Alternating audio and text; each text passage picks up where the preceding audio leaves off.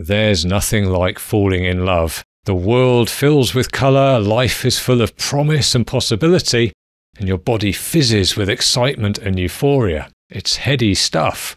So, why does it stop? Why is it hard to hang on to that glorious feeling of electric attraction in long term relationships? And this question can seem particularly urgent if desire fades and other people start to seem extraordinarily attractive. In this video, we analyze the neuroscience of how and why romantic desire surges and fades. Hi, my name is Tom Bellamy.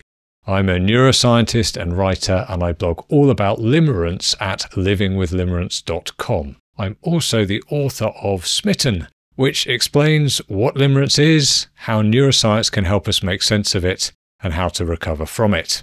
Okay, so what's going on in the brain when romantic attraction fades? Now, this question tends to occur to people under two different circumstances. The first is frustration about the loss of romantic connection. Desire seems such a core part of romantic attachment that the fading of attraction during a long term relationship that's otherwise good is obviously distressing. Very few people intend to end up in a sexless marriage. It just happens in degrees of fading desire. The second context is the opposite problem when we can't turn off an infatuation that's spiraled out of control and is causing us harm.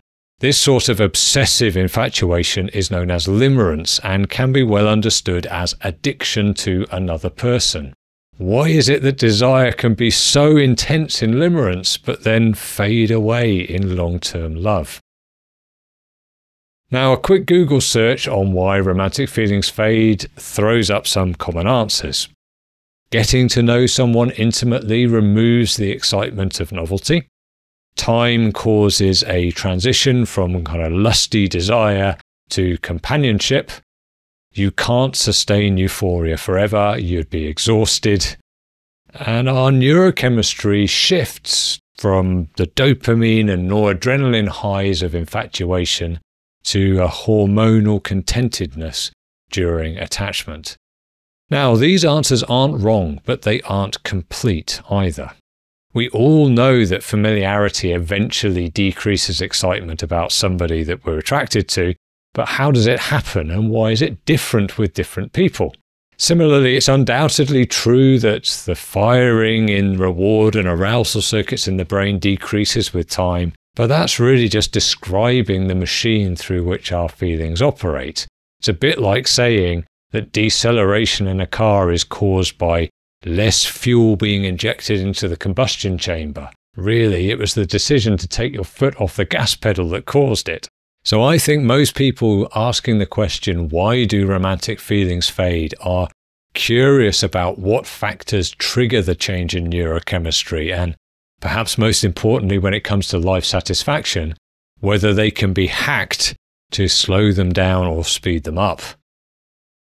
Pleasure fades over time. It's a central feature of psychology, and as you might therefore expect, there's a large body of published research that analyzes the problem from multiple perspectives. Turns out that it's complicated.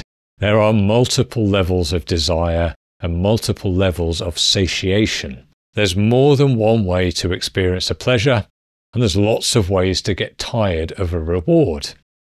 Now, perhaps the best studied case is the pleasure of food. And it's a good one because it seems simple, but it isn't. So, if you gorge yourself on a lot of sweet food, you will soon feel sick of it. Sugar still tastes good and it activates the same sensory neurons in your mouth, but you've lost the desire to consume it. And that loss of desire comes from multiple levels. At the most fundamental levels, there are physiological feedback mechanisms. So, a full stomach that becomes distended, or taste receptors get overstimulated, your blood sugar levels rise, and all of those processes suppress your appetite. Now, at the next level up, there's whether or not you want to eat more sugar. So after binging, the thought of sweetness becomes aversive, even nauseating. And finally, at perhaps the highest cognitive level, there's how you think about sugary foods intellectually. And this can depend on your general mood, your values, your attitude to life and health. And you might resist the idea of sweet rewards because you're sticking to a diet or because you want to avoid the inevitable post sugar slump, or maybe because you've developed diabetes. Now, these multiple levels of desire all need to be understood if you want to know why romantic cravings pass sooner or later than you would like. But I'd argue that the key point of control is at that middle level of wanting. The process of learning to suppress a response is known as habituation. It's a fundamental feature of neurophysiology and it describes the phenomenon where repeated exposure to a stimulus, either good or bad, leads to a diminished response over time. You get used to things that happen repeatedly. And this process allows you to stop wanting things that are easily obtained and stop fearing things that are easily avoided. So if you repeatedly listen to a song that you really like, you'll tire of it. If you eat your favorite meal every day, it will lose its appeal. If you constantly consume erotica, you'll become jaded. Habituation is the mechanism through which exposure to rewards leads to fading desire. It's a learned suppression of response. Importantly, though, how well and how quickly the lesson is learned depends on some key factors about the stimulus. Number one, the stimulus strength. So more powerful desires take longer to habituate. Number two, the stimulus rate. If a reward is presented frequently, it habituates quickly. If it's less common, it will habituate slowly. Number three, stimulus variability. If a reward is predictable, it habituates quickly. If it's unpredictable, it habituates slowly. Number four, spontaneous recovery. Now, if a reward is inaccessible for a long time, the habituation process can reverse. Number five, dishabituation. If an extra stimulus is given with a habituated reward, or the strength or the context of the reward is changed, habituation can reverse. And number six, sensitization.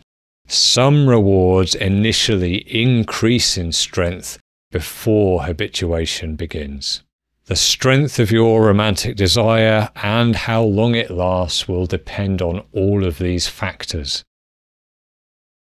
When you've been with somebody for a long time, habituation of the arousal and pleasure responses to them inevitably occurs. And this is an active process in the brain. It requires lots of hormonal and neurotransmitter systems. But the focal point seems to be our old friend, the dopamine reward system. Desire is a combination of excitement and motivation to seek reward. That's what the wanting drive basically is. Now, as I've discussed in a previous video, I'll put a link below, feedback from the orbitofrontal cortex to the striatum, the pleasure centers in the striatum, is the main mechanism for regulating reward seeking and making sense of desire.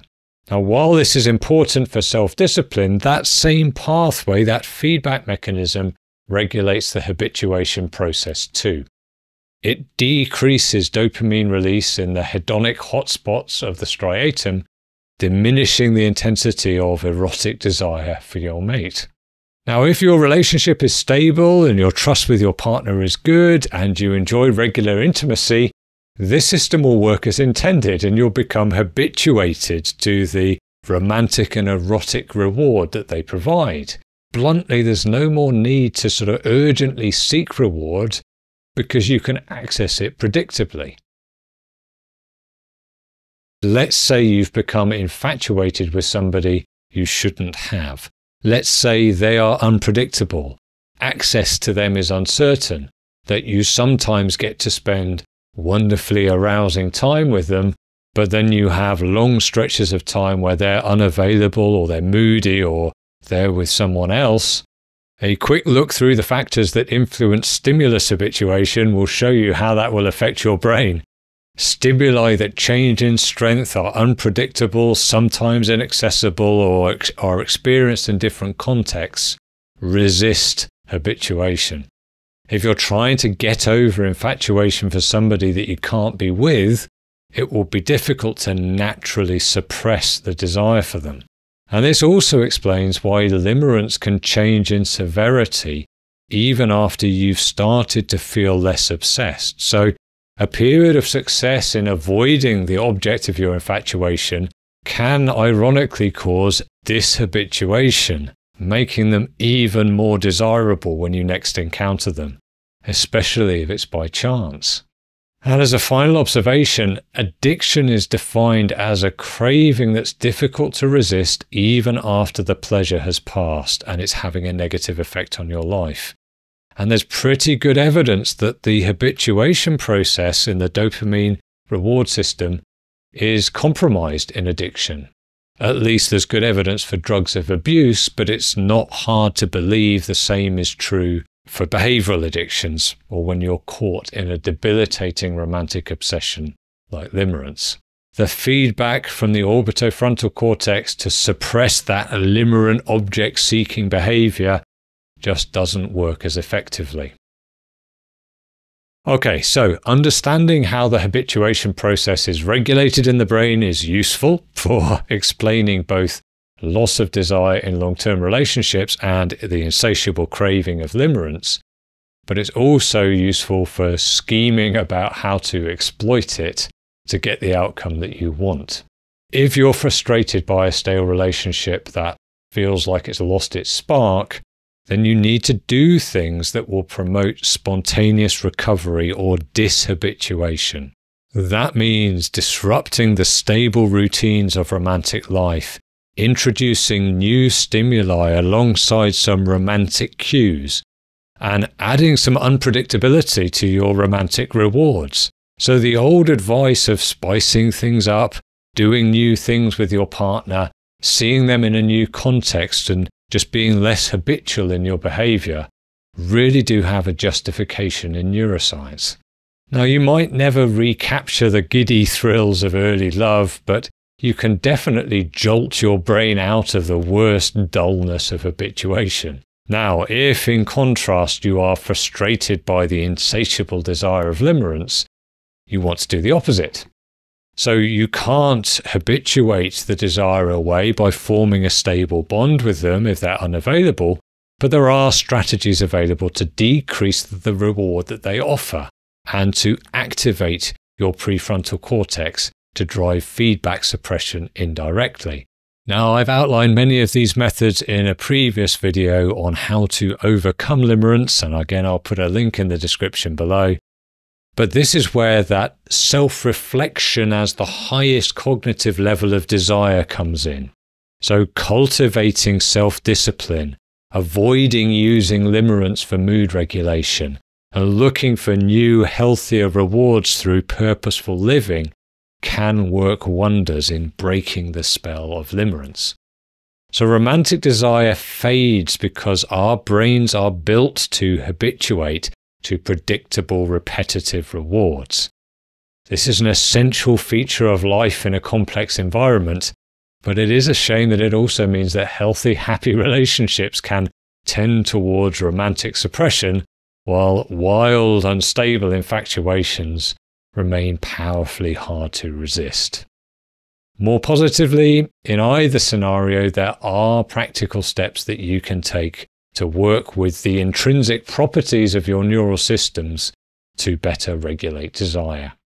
If you found this video useful, check out this one next on what's going on in the brain during the development of person addiction. Thanks for watching, subscribe if you'd like more, and I'll see you next time.